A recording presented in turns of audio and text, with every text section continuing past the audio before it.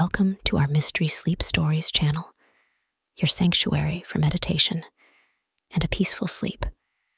Immerse yourself in the soothing embrace of sleep inducing tales, carefully crafted to transport you to mysterious lands. Let the gentle rain and serene sounds of nature accompany you on this quest for deep sleep. Say goodbye to restless nights and welcome the embrace of a restful sleep with our mystery bedtime stories. So, let the tale begin. The Ancient Lantern. Chapter 1 The Lantern's Glow. In the fog covered city of Aeterna, a labyrinth of winding alleys and ivy covered buildings, Lora a young historian with an insatiable curiosity for the past, spent most of her days in the dusty archives of the great library. The library itself was a towering structure made of granite and limestone, with shelves packed to the ceiling with scrolls and manuscripts collected over the centuries. Its vaulted halls echoed with the whispers of scholars and the rustling of parchment providing a sanctuary for those who sought wisdom. Lora's thirst for knowledge led her deep into these archives, where she eagerly combed through forgotten documents and relics in search of stories lost to time. One evening, as dusk settled over the city and cast long shadows across the cobblestone streets, Lora stumbled upon a hidden vault in the library. Its heavy iron door had been obscured behind a wall of manuscripts, the latch rusted shut from years of neglect. After a few good tugs, the door creaked open, and she stepped into the dimly lit room beyond. She swept the dust off an ancient workbench and began to examine the relics left undisturbed on the shelves. Among the trinkets and artifacts was an intricately carved bronze lantern the lantern was covered in dust and cobwebs, its surface dulled with age, but the craftsmanship was extraordinary. Delicate serpentine patterns wound around its base, and the glass panes were etched with unfamiliar symbols. Intrigued, Lora cleared away the dust and found a small compartment containing a wick and a vial of oil. Her heart quickened as she carefully filled the lamp with oil and struck a match. As soon as the flame touched the wick, the lantern burst into a soft, ethereal glow. Its light spilled across the room in streams of pale blue, casting intricate shadows on the stone walls. The symbols etched into the glass seemed to come alive, revealing swirling patterns that twisted in the lantern's soft radiance. Lora marveled at the sight, but her curiosity deepened when she noticed an ancient manuscript on the workbench. She picked it up and held it to the lantern's glow. To her astonishment, faint lines of text slowly appeared on the manuscript, glowing like fireflies in the lantern's light. The letters had been written in invisible ink, but the lantern revealed them clearly. The text resembled a dialect of ancient Greek, infused with pictograms and symbols that she vaguely recognized. She deciphered the first few lines, her excitement building as she realized she was reading directions to a hidden gateway leading to Atlantis, the legendary city lost beneath the waves. Lora's breath quickened as she read further. The manuscript hinted at a staircase descending into the depths, where a golden relic awaited, said to hold clues to the mysteries of forgotten civilizations. Driven by the possibility of such a discovery, she immediately began packing her gear. She stuffed notebooks, maps, and the lantern into her satchel, knowing that this find would not only confirm the myths but also rewrite history. After a few days of meticulous planning and preparation, she made her way to a coastal town where she chartered a small fishing boat. The old captain was skeptical of her quest, but agreed to sail her to the coordinates she had decoded from the manuscript, warning her about the treacherous currents and rocky seabed. As they sailed through swirling fog and crashing waves, Lora stood at the bow, clutching the lantern like a beacon. Hours later, the boat reached the coordinates. The captain dropped anchor, and Lora donned her diving suit. With the lantern securely fastened to her belt, she plunged into the icy depths. She descended cautiously, her headlamp slicing through the murky water. The lantern's ethereal glow lit her way as she swam deeper into the abyss. The water grew colder, and her breath fogged up her mask, but she pressed on, driven by the promise of discovery. After what felt like hours, she finally saw a staircase carved into the seabed, half buried in algae and silt. The steps led into the darkness, beckoning her forward. She descended cautiously, step by step, feeling the weight of the water pressing against her. At the bottom of the staircase, she stood before a colossal stone door carved with symbols similar to those on the lantern. A small, star shaped indentation sat in the center of the door, and Lora carefully held the lantern up to it. As soon as the light touched the indentation, the symbols began to glow, and the door rumbled open, revealing a cavernous chamber beyond. Lora swam inside and found herself amid the submerged ruins of Atlantis, where coral and seaweed clung to the columns and statues. In the heart of the chamber stood a golden relic, intricately inscribed with symbols.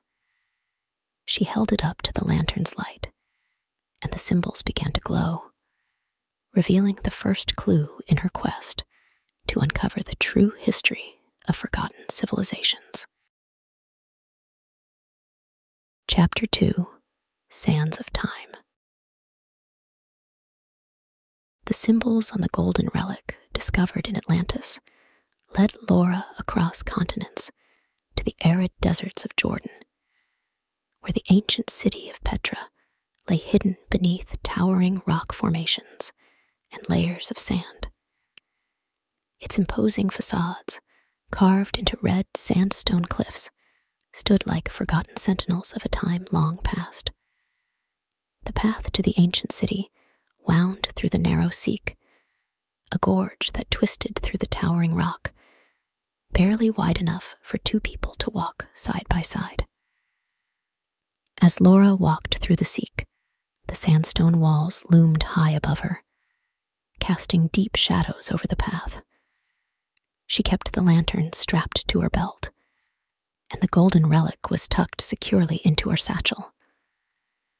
She emerged from the gorge to the treasury's imposing facade its intricate carvings visible even under the glaring desert sun.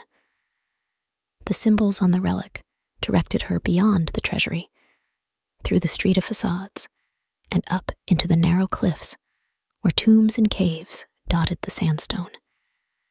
She reached the entrance to a seemingly ordinary cave. Holding the lantern close, she scanned the rock face and noticed faint lines glowing under the lantern's ethereal light.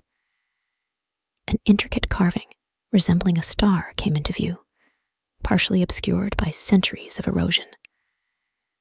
Lora pushed against the rock where the star was carved, and a hidden door creaked open, revealing a dark passageway. Taking a deep breath, Lora stepped inside, and the door closed behind her with a muffled thud. She adjusted the lantern on her belt, its pale glow casting long shadows on the walls of the narrow corridor. The air was cool and damp as she followed the tunnel, which twisted and turned deeper into the earth. At last, she emerged into a small circular chamber lined with mosaics. Dust coated the floor, and thick layers of moss hung from the ceiling like ghostly tendrils. Lora brushed off the mosaics, and under the lantern's light, she could see the intricate tiles forming scenes of ancient caravans and merchants offering spices. However, invisible under normal light, a map glimmered into view. The map depicted a hidden path through the maze like streets of Petra, leading to a chamber marked with the same star carved on the cave's entrance. After memorizing the map, Lora ventured back into the sunlight and followed the path it had shown her, navigating a series of narrow passageways until she reached a sandstone wall on the city's outskirts. It appeared smooth and unmarked until she brought the lantern close, revealing a faint outline of the star.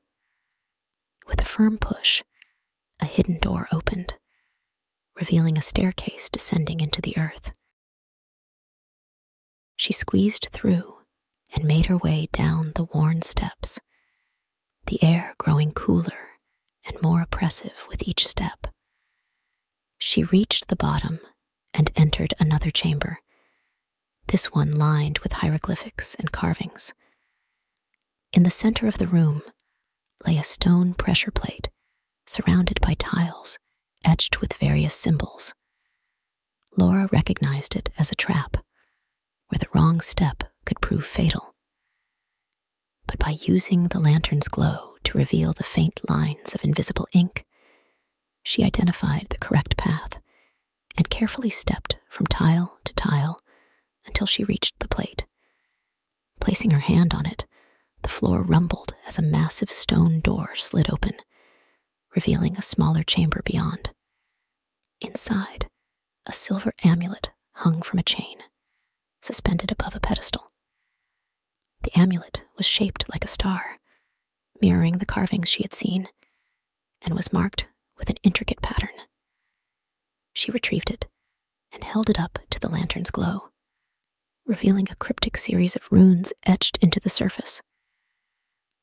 As she deciphered the runes, she felt the ground beneath her tremble, and dust fell from the ceiling. The shifting sands were collapsing the fragile chamber, she quickly stuffed the amulet into her satchel and sprinted back up the staircase. The passageway collapsed behind her as she dashed through the hidden door and into the desert sun, her breath coming in gasps.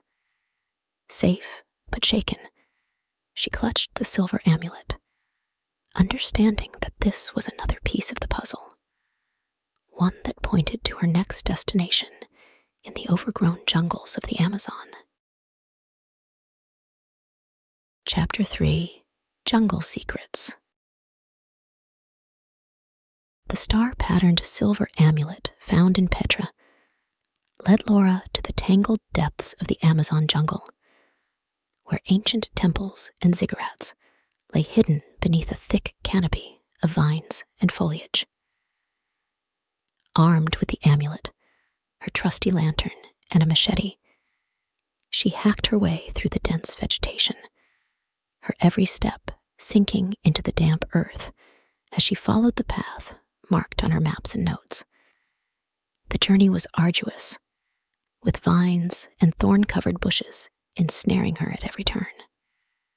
Despite the challenges, Lora was determined to reach the heart of the jungle, where the star shaped markings on the amulet pointed toward the forgotten remnants of a lost civilization she finally stumbled upon an ancient stone pathway, half buried under layers of moss and leaves. The pathway twisted through the underbrush, leading her to a towering ziggurat nearly engulfed by the jungle itself. Lora carefully ascended the steep steps, each one carved with intricate symbols, now partially eroded by time. At the top, was a stone platform covered in moss and creeping vines.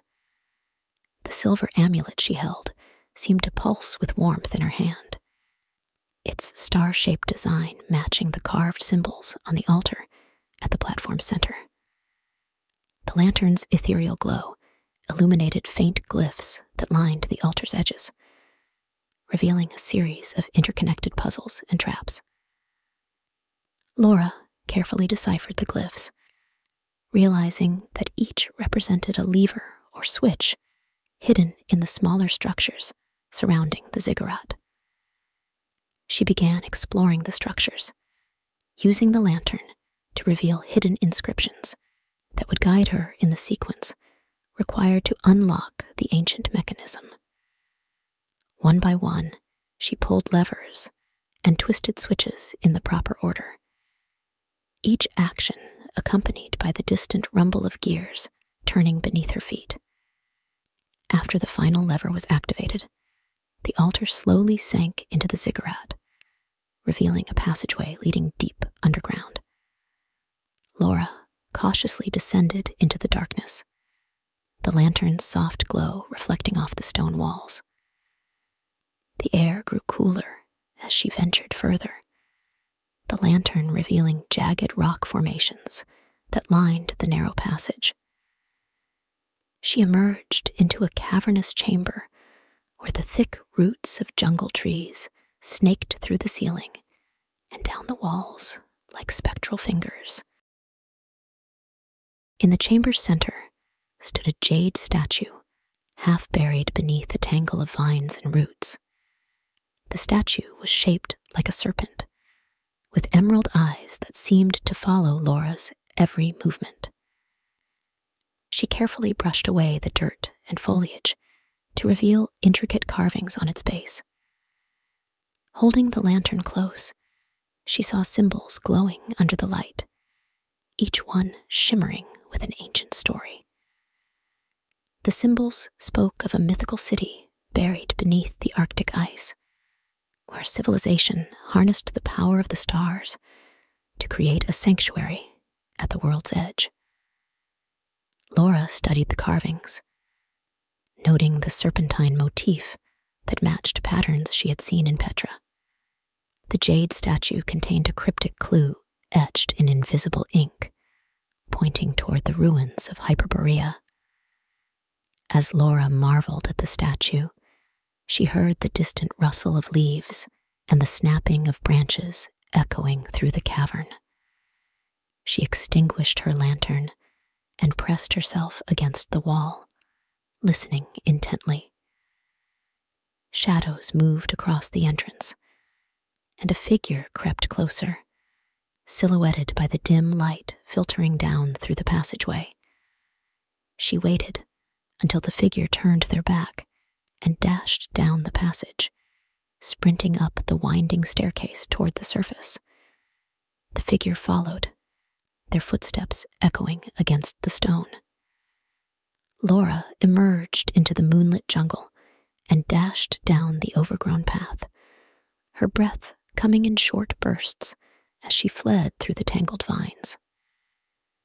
When she reached the riverbank, she quickly jumped into her small boat, which was anchored nearby, and pushed off into the current.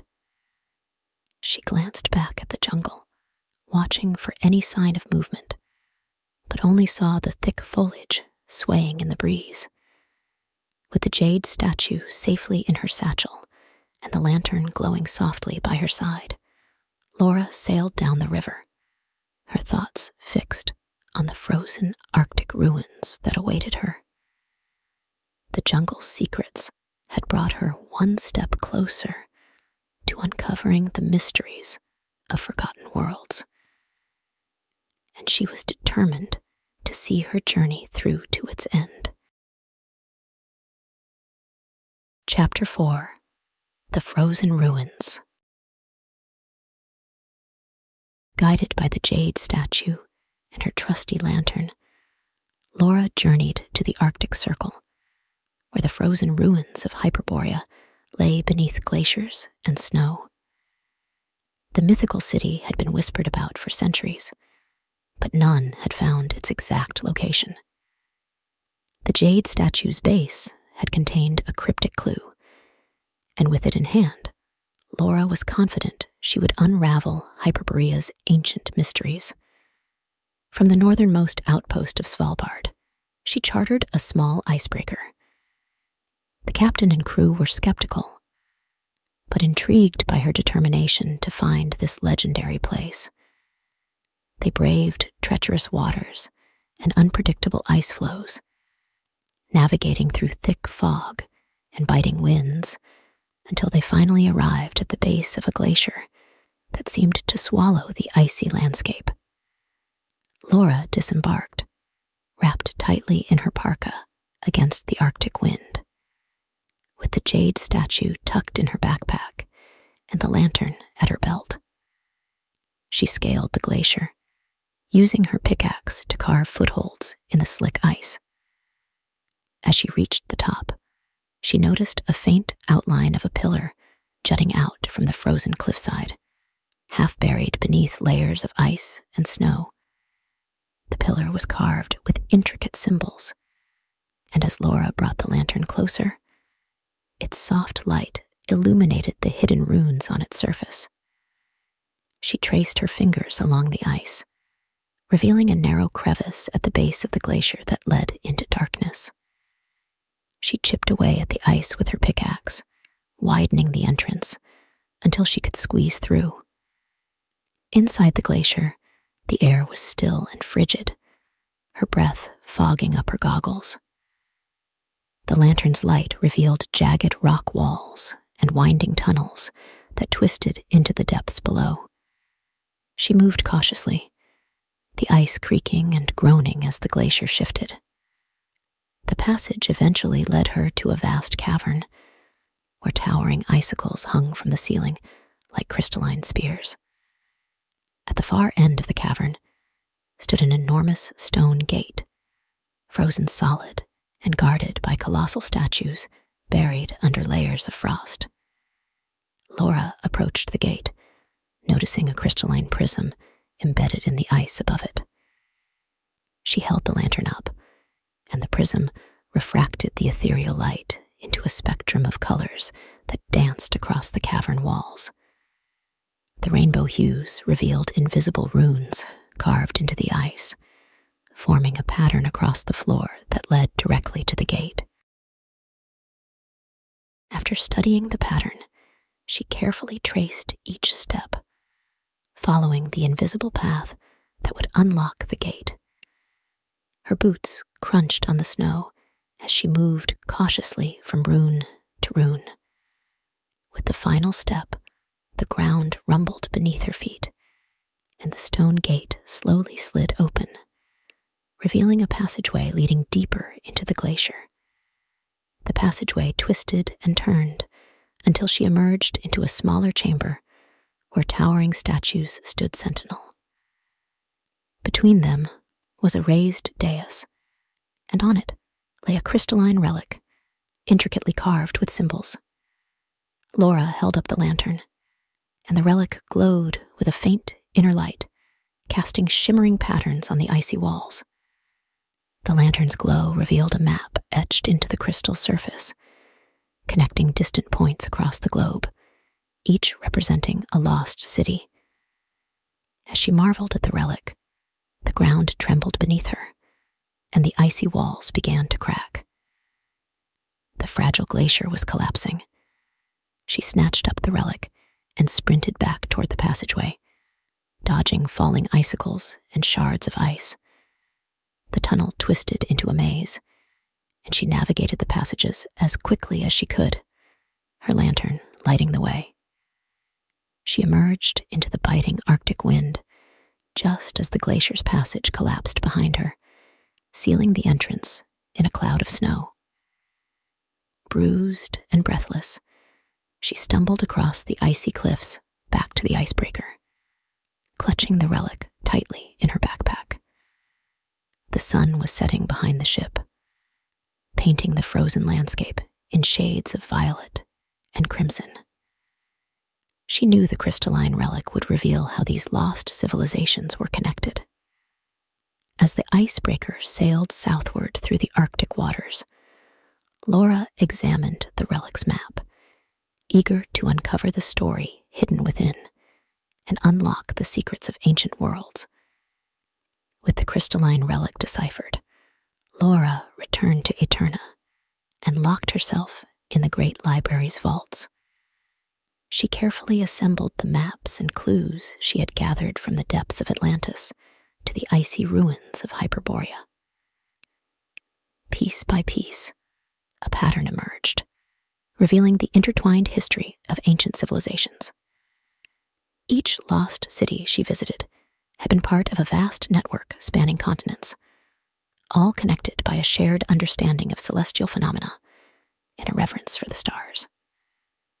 These ancient societies had harnessed the power of the constellations to navigate the globe and sustain a golden age of trade and cultural exchange.